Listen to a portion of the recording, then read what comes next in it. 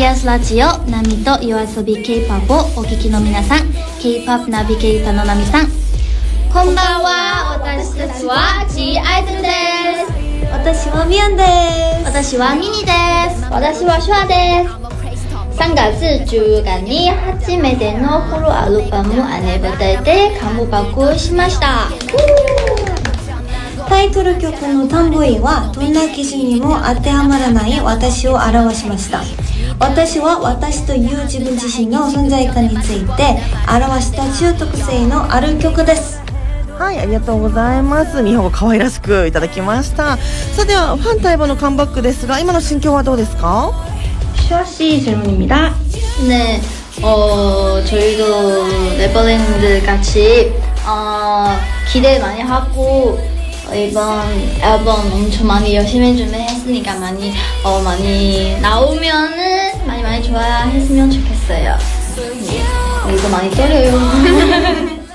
はい、ありがとうございます。シュワさんがですね、ネバーランドと同じように楽しみにして準備したので、たくさん好きになってくれたら嬉しいです。そして、すごく緊張していますといただきました。はいでは次に曲を録音するときミュージックビデオを撮影するとき何か面白いエピソードや大変だったことはありますか 미니씨 질문입니다 네, 제가 태국에 갔다 왔는데 갔다 오고 나서 한국 한국에 도착하자마자 이제 바로 녹음 들어갔어요.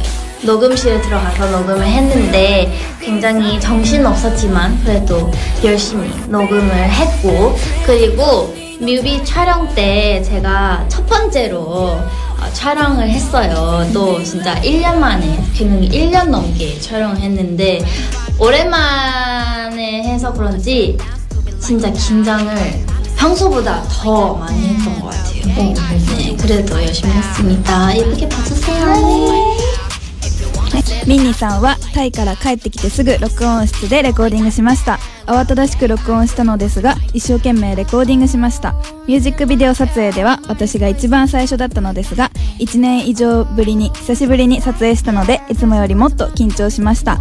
頑張って撮影したのでぜひ見てほしいです。とのことです。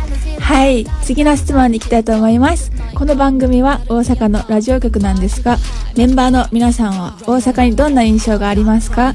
大阪の食べてみたいものや行きたい場所があれば教えてください。楽しみに見ら。ヘップファイブの観覧車に乗りたいです。京セラドームでコンサートがしたいです。日本語ですごく可愛かったですね。ありがとうございます。次の質問です。関西弁がもし何か一つ話せるメンバーの方がいらっしゃればお願いいたします。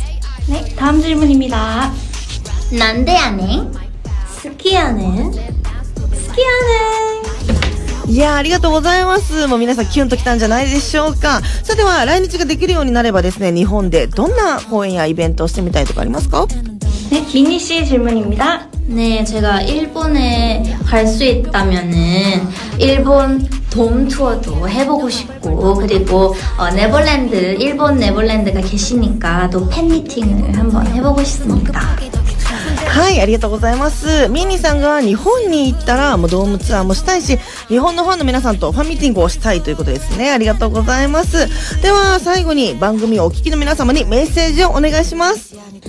日本の皆さんこんにちは。チアイドルです。試合で初めてのフルアルバム「アイヌブダイ」の活動楽しみにしていてください。